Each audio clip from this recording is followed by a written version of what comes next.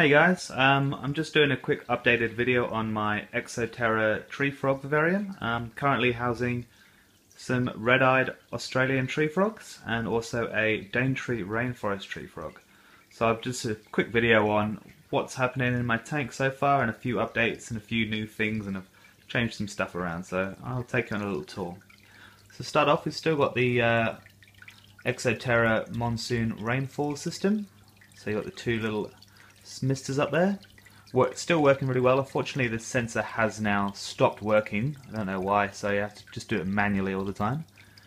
But anyway, here's a quick look inside. So see if we can find some of the frogs. So there's the Daintree tree frog chilling there. We'll get a closer look at him in a minute. And we've also got another little red-eyed tree frog. So there's one up there.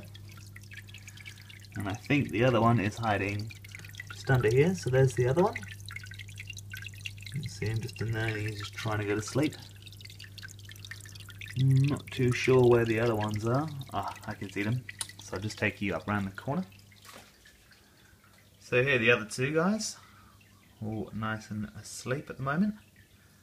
And here's a little closer look at the, the Daintree tree frog that I've got. They're all just chilling, they've all had some crickets. So yeah, like I said, so this is an Exoterra tree frog tank. Everything in here is Exoterra, so all the plants. I used to have a lot of fake plants, but, um, sorry, used to have a lot of real plants. But yeah, they didn't really do so well, and when it came to clean out the tank, it was a bit of a pain to kind of pull them out and put them all back in again. So I just use fake plants for now. The frogs don't really seem to mind. They seem happy with or without fake plants.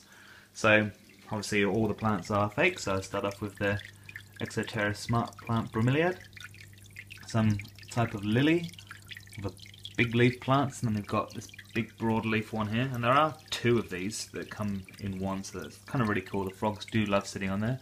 A few orchids and some Spanish moss just in the back there for decoration. Now what I've done, I've got a separate compartment here for the water at the front, so I've just siliconed a piece of glass in at the front. I just went out to my local hardware store and bought a tiny little pond pump, which cost about five dollars. Um, just a few rocks in there at the bottom for decoration.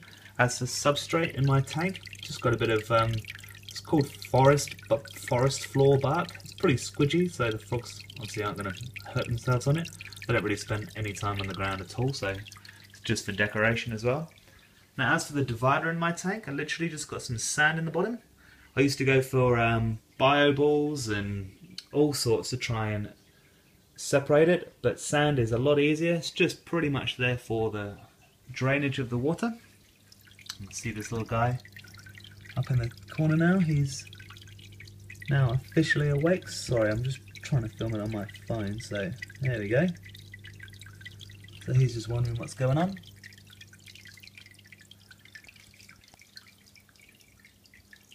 There we go. So I'll just give you a quick show you how the misting system works. So this is the misting system on at the moment. Gets everything lovely and wet. Keeps the frogs nice and happy. Set it all up so the water does actually pour straight back down into the water compartment.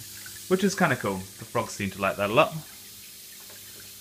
Also picked up a Repti Fogger from Zoo Med, which I quite enjoy. I mean, it's it's visually pleasing, but I'm sure it's beneficial to the frogs to keep up that humidity, bearing in mind that they are tropical tree frogs, so that's pretty much what it looks like.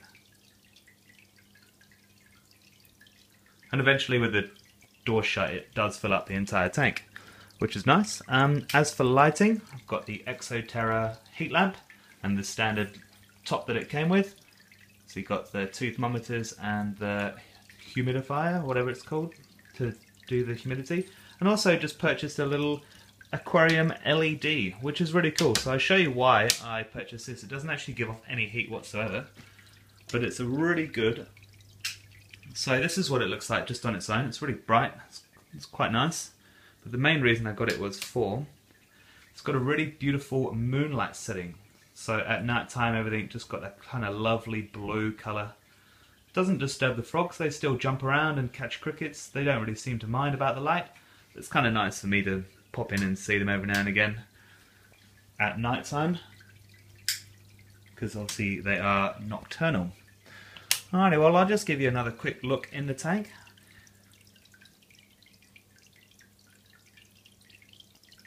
And everything's been, I've had this tank now for at least four and a half years. Always changing things up and buying bits and pieces, but I think I've kind of got it to where I want it now.